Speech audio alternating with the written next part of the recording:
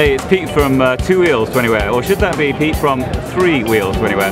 Here I am sitting on a Can-Am Spyder, which is uh, this amazing three-wheeled motorcycle, lots of power, 100 plus or so, and uh, you'll hear that from Scott, uh, one of the uh, BRP guys.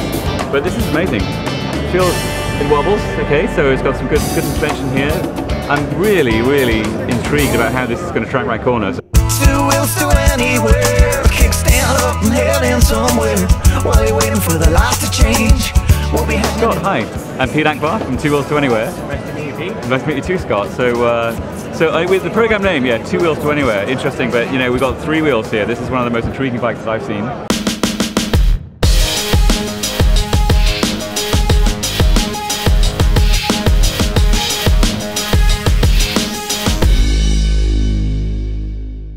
I mean, it's it's fantastic. I mean, you know, there's like a three-wheel bike here. So tell us a little bit about the uh, th- how come three wheels? This is built by Can-Am, which is a division of Bombardier Recreational Products, the same people that bring you Ski-Doo and Sea-Doo. Uh huh.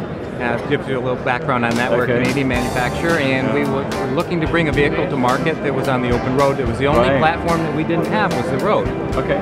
And so we gave an, our engineers a challenge to develop something that we could to be totally unique. We didn't want to enter the motorcycle industry. It's very crowded right now. Oh, yeah. And we don't want to be in the car market. So Right. we, we are very much a performance-oriented corporation. Okay.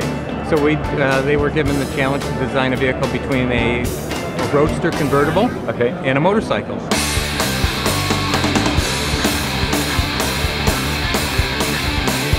A travel show that doesn't suck. And we have the, the Spyder.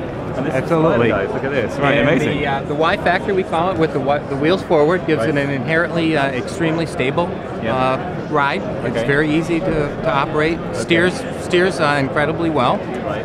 Um, it comes with a 990 V twin Rotax engine that's liquid cooled and fuel injected, so it, it performs well. It's 106 horsepower. It also uh, it's uh, one of the great features. It has dynamic power steering. You have full power at idle, and it slowly takes power away and gives you a consistent feel of the road. Okay. It has a vehicle stability control system that's built by Bosch. It's found uh, same system that's found in many of the European sports cars. We have uh, a a front trunk that's 44 liters of uh, lockable watertight storage. It's pretty cool.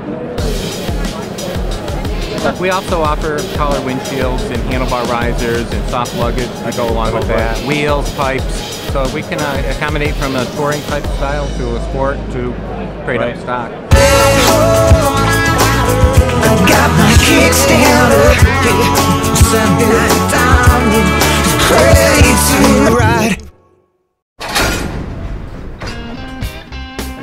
When you track it, does it, does it track on the same level, or does it kind of move around? I mean, how does it? It stays totally flat. flat? And so it has, uh, unlike a motorcycle, it has no characteristics of lean or counter steer. But then the thrill is going to come from maybe the uh, the G-forces and the fact that the G-forces are on your body, and that, that you're kind of like as you go around the corner, you know, you've got that outward push on you, and so that you know, yeah, If you're comparing it to a motorcycle or, or the thrill of leaning and accelerating, Right. the, the thing accelerates extremely fast in 0 to 60 in 4.5. But the uh, the added thrill Right. is, is the the ability for this to carve through corners and stick like it's you're on rails because of the vehicle stability system.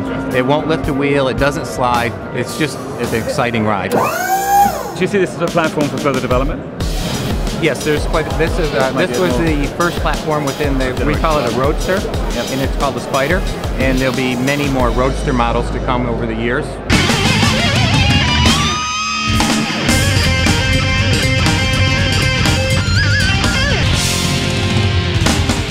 You sound like an enthusiast, so you've obviously taken this for a ride. But you have your do you have do you ride a bike or do you? Uh, I have a motorcycle. I ride a Honda 919 when I when I have to. Last year I rode it once because I rode 9,000 miles on the Spyders last year. No, not at all. So it's uh, it's a great.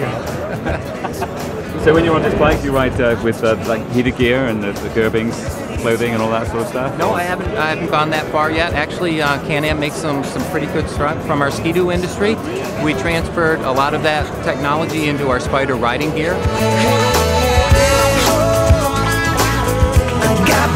Don't go below freezing just because of the ice.